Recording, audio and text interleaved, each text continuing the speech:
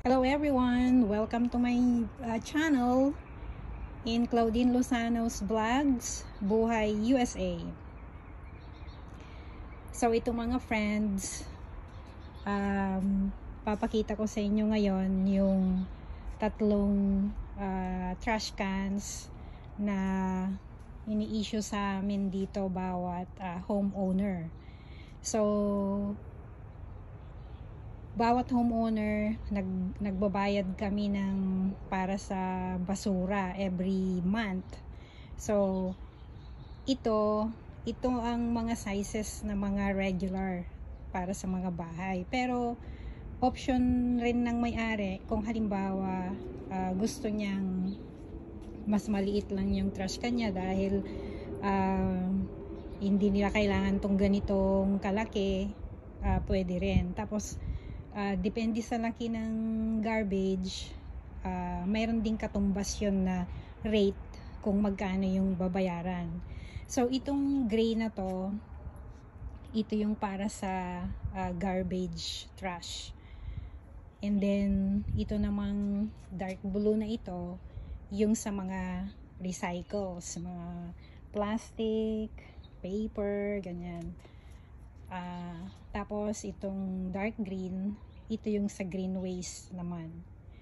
Um, okay, bubuksan ko para makita natin itong itong laman niya. So, buksan ko lang ha mga friends. Kasi very important, very important talaga na sinisegregate para hindi halo-halo. Kasi iba-ibang uh, truck ng basura ang magpipick up niyan. So, ito, City of Sacramento. Um, kasi nandito kami sa Sacramento, California which is uh, ito ang uh, capital ng California ngayon. So, pagita ko lang sa inyo mga friends yung laman ng aming trash. Ito siya nakalagay uh, siya sa mga uh, white plastic yung mga nanggagaling din sa loob ng bahay namin yan. So, binibili namin yung mga trash bag na yan tapos uh, para may lagayan ng tama yung basura. Hindi lang namin basta-basta linalagay yung mga items dito na hindi nakalagay sa plastic.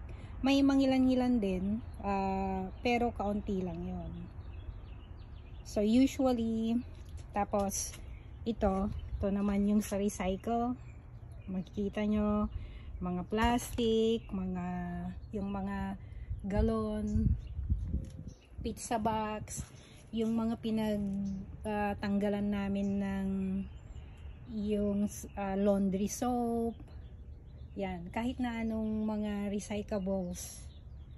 Plastic, paper ganon hindi hinahalo sa garbage ang mga yan yon yung, yung isang yon yung uh, pinagtanggalan namin ng uh, cooking oil yung sa mantika tapos itong mga green na plastic na to, yung pinagtanggalan ng husband ko ng mga garden soil na binili namin. Tapos lipat naman tayo dito sa green. Ito yung sa green waste. So ang laman nito mga friends, ang ginalagay namin dito, itong mga natatanggal namin sa garden. Uh, to ang laman niya ngayon, yung mga tinanggal ko noon na mga mga stems ng mga perennial plants namin mga pagka maglo lawn mower yung husband ko dito niya ilalagay no so every week sarado ka na. So every week mga friends may schedule itong pagpipick up ng basura sa amin dito. Ang steady na pinipick up every uh, week is itong garbage every Thursday ang pick up dito yan. tapos itong itong box na to itong box na to, ilalagay din namin yan doon sa blue na container. So, yan lang ang gusto kong i-share sa inyo mga friends. Ganyan dito sa US, uh, sinusunod talaga namin yung pagsisegregate ng mga iba't ibang klasing basura kasi nakakatulong ito sa community.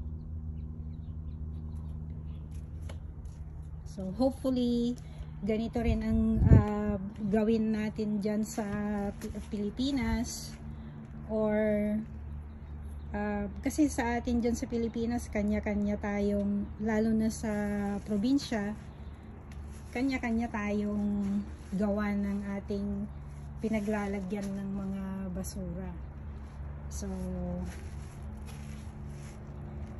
Uh, pero sa mga city dyan, hopefully, lalo na dyan sa Manila, uh, gawin din sana nila ito. Yan, so yan ang gusto kong i-share sa inyo ngayon mga friends.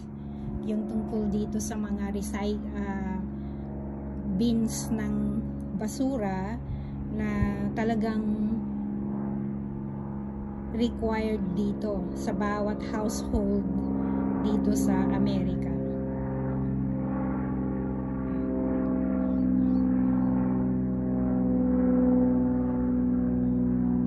I hope you learned something from this vlog mga friends. I hope to see you on my next vlog. Bye!